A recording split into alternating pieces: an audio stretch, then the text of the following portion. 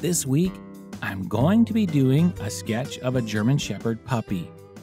Now, this was inspired by my daughter's best friend Madeline and her new puppy, Ivy. Look at those floppy ears. Isn't she cute?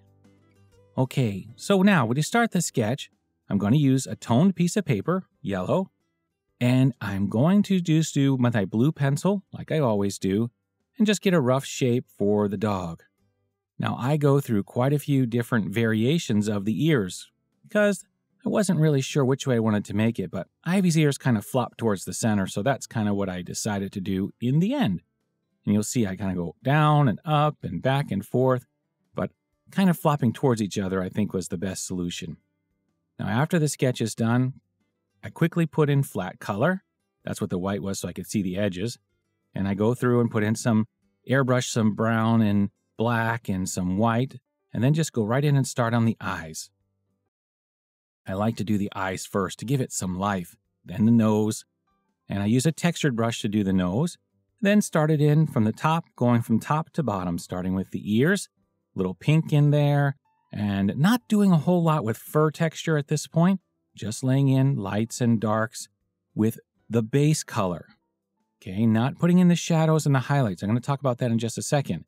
Now, as I'm going through the mouth and the muzzle area there, I did kind of come in there and erase some of that black out, but then started putting in the highlights in. And this time, what I did for this puppy was I did a overlay layer with uh, the layer on multiply and just use blue to draw the shadow area. And then I put an overlay area and put it on yellow and put it on screen.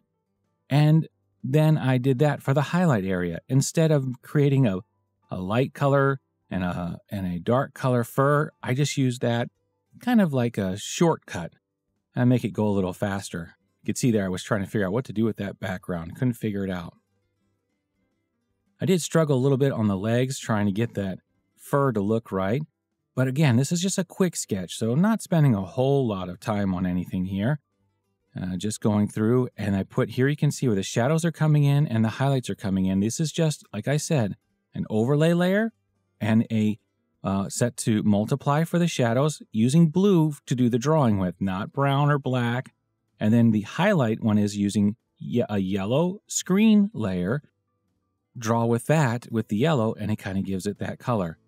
And then I decided I wanted to do a blue light coming from the right to give it a little bit of rim light. And then I'm going to do a yellow light coming from the left to give it, to make it pop off the background a little better. And that's all, very quick. Hope you enjoyed it. Please subscribe.